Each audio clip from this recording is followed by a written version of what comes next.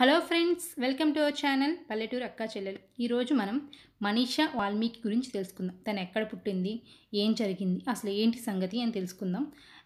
ఉత్తరప్రదేశ్లోని హత్రాస్ అనే ప్లేస్లో తను జన్మించింది. తను నైన్టీన్ ఇయర్స్ ఓల్డ్ అండి. లాస్ట్ మంత్ అంటే సెప్టెంబర్ ఫోర్టీన్త్న తను రేప్ చేయబడిందండి. టూ డేస్ బ్యాక్ అంటే ట్వంటీ నైన్త్న తను చనిపోయింది ఢిల్లీలో.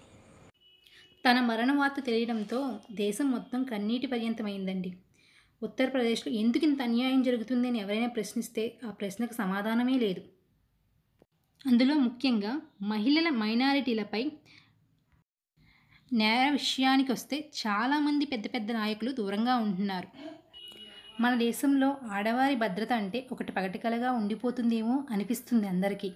ప్రతి ఇరవై నిమిషాలకు ఒక రేప్ కేసు జరుగుతుంది. ఎందుకలా? ప్రతిరోజు సుమారు ఏడు నుండి పది మంది ఆడవాళ్ళపై అత్యాచారాలు జరుగుతున్నాయి. అది ఎక్కువగా దళిత కుటుంబాల నుంచే ఉంటున్నాయి. ఎందుకు ఇలా? కొన్ని జరిగినా బయటికి రావు. వచ్చినా అధికారులు పట్టించుకోరు. పట్టించుకున్నా న్యాయం జరగదు. జరిగినా అది ఎంతో కొంతమందికి.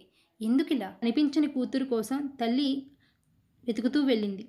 కనిపించిన కూతురి ఒంటిమే నూలుపోకూడా కూడా లేదు. ఆమె దుస్థితి చూస్తే కన్నీటి పర్యంతమైంది. అయినా ధైర్యం చేసుకుని పోలీస్ స్టేషన్కి తీసుకువెళ్ళింది. పోలీసుని అద్దించింది కానీ ఏ ఒక్కరూ వినలేదు. ఒక పక్క కళ్ళ నుండి యోని నుండి రక్తం పారుతుంది. నాలుక కత్తిరించబడింది. మాట్లాడలేదు. నడుము విరిగిపోయింది. లేచి నడవలేదు. అటువంటి స్థితిలో కూడా ఏ ఒక్కరికి జాలి కరుణ దయ అనేవే కలగలేదు. తల్లి ఒక పక్కన రోధిస్తుంది. అయినా ఎవరికీ పట్టింపు లేదు. అదొక నాటకంగా భావిస్తున్నారు.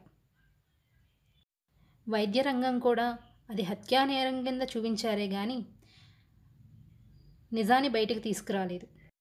తన చావుకు కారణం వీళ్ళే. అది ఎంతవరకు నిజమనేది దేవుడికే తెలియాలి. తను చనిపోయిన రాత్రి పోలీసులు తల్లిదండ్రులు తెలియకుండా దహన సంస్కారాలు చేశారు. అది ఎందుకు ఏమిటో కూడా తెలియలేదు. మనం చేయగలిగిందల్లా తన ఆత్మకు శాంతి కలగాలని కోరుకోవడం. తన ఈ దుస్థితి పట్టించిన వారికి శిక్ష పడాలని కోరుకోవడం.